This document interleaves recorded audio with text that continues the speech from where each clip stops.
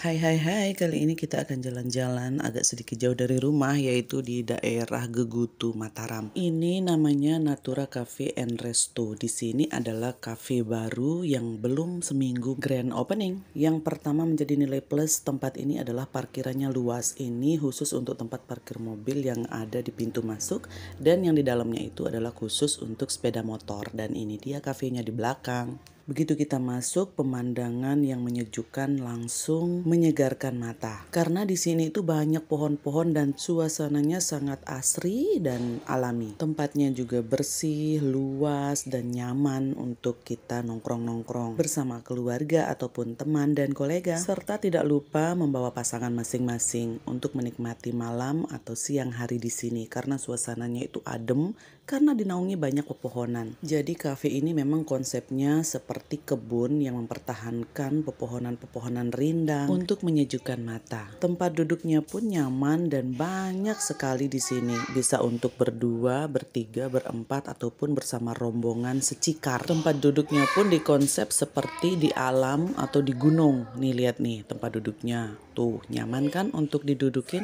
Walaupun duduk berlama-lama di sini tidak akan penat. Ada banyak tempat pilihan untuk duduk di mana pun di sini. Di semua space itu tersedia tempat duduk yang berbeda-beda. Ada yang bermacam-macam, ada yang konsepnya dengan tempat duduk gunung begini, ada yang terbuat dari kayu dan ada pula dari semen. Dan kebetulan malam ini lagi ditemani sama bosnya yang kece badai ini. Kita keliling-keliling yuk melihat-lihat seperti apa tempat duduk dan nyamannya suasana di cafe Natura ini. Jadi pohon-pohon yang ada di sekitar sini itu alami, tidak dibuat-buat. Ini bukan pohon buatan atau pohon plastik, jadi ini adalah pohon asli yang sudah memang ada di sini. Pohon-pohon ini sengaja diberikan lampu untuk lebih indah dipandang mata apalagi di malam hari. Tuh lihat, lebih cantik kan? Berjalan terus ke belakang ini tentunya ada tempat lesehan juga bagi yang senang duduk leyeh-leyeh berlama-lama di sini. Dan ini adalah kamar mandi atau toiletnya untuk perempuan dan untuk laki-laki yang sangat bersih. Terus berjalan ke belakang itu ada musola yang cukup besar bagi yang kebetulan ingin sholat di sini. Untuk menunya semuanya harganya di bawah 50.000. Harga minuman ini paling murah 11.000 dan paling mahal 19.000 atau 20.000. Dan tentunya banyak sekali pilihannya di sini, mau yang coconut base, creamy drink, teh-tehan ataupun milky-milkian. Sementara untuk makanannya terdapat bermacam-macam pilihan, mulai dari menu barat, timur, laut, utara dan sebagainya. Harganya pun terbilang cukup terjangkau. Nasi goreng ini misalnya dari mulai harga 12.000 sampai yang paling mahal itu 20.000 rupiah untuk nasi goreng mix. Dan untuk international food ini mulai dari 11.000 sampai 35.000 rupiah. Murah kan? Dan untuk pasta-pastanya hanya merogoh kocek ya sekitar 20 25 ribuan lah rata-rata. Semua menu ini nanti akan disajikan dalam kemasan ala resto, tapi harganya itu sungguh sangat merakyat.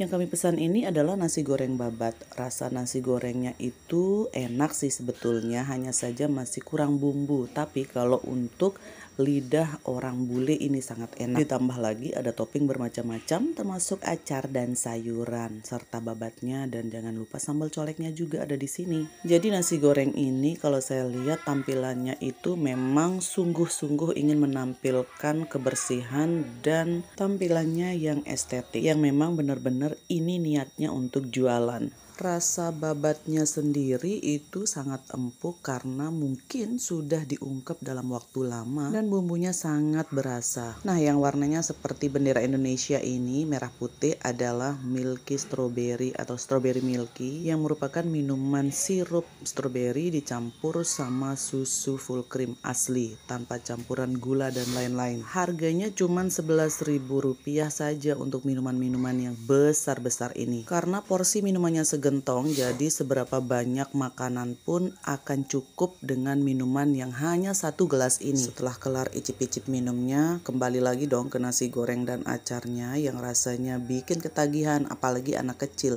karena ini tidak pedas sama sekali. Jadi anak-anak yang masih belum bisa pedas atau bagi kita-kita nih yang udah besar tapi tidak suka pedas ini cocok sekali dan yang suka pedas tinggal colet sambelnya. Oh ya, untuk minumannya sendiri ini kita review ya. Untuk yang strawberry milky ini saya rasa ini best sellernya sih. Karena dari tadi saya lihat orang-orang itu pada bungkus semua nih yang strawberry milky. Dan ada juga minuman kelapa mudanya yang dicampur dengan sirup strawberry. Itu rasanya mantul banget. Tanpa campuran gula apa pun itu sudah sangat enak rasanya dan tidak terlalu manis dan cocok untuk kalian yang tidak suka manis. Dan ini adalah krim sup. Krim supnya ini berisi roti baguette yang diolesi dengan bawang putih dan keju yang berenang bebas di dalam sup krim ini. Setelah digulah gater, supnya ternyata berisi kentang dan wortel cincang yang kemungkinan besar digoreng atau dipanggang. Potongan kentang dan wortelnya ini cukup besar-besar dan menjadi penghias dari supnya sendiri. Kalau untuk rasa, roti baguette-nya ini memang juara juara. Apalagi dicemplungin ke krim supnya. Itu rasanya pas banget. Hanya saja untuk krim supnya mungkin agak kurang nyambung di lidah kami terutama dengan adanya potongan-potongan kentang dan wortel yang masih agak kurang matang atau masih agak ngerok. Tentunya bukan rock metal ya, tapi masih agak keras lah sedikit.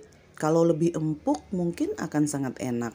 Tetapi kalau saya sih lebih enaknya itu di blender atau ditumbuk untuk kentangnya. Tapi secara keseluruhan menu-menunya itu enak dan murah-murah. Ini dapat dikatakan tampilan pejabat harga merakyat. Kapan-kapan mungkin kalau punya waktu senggang kalian boleh cobain deh datang ke sini. Natura Cafe.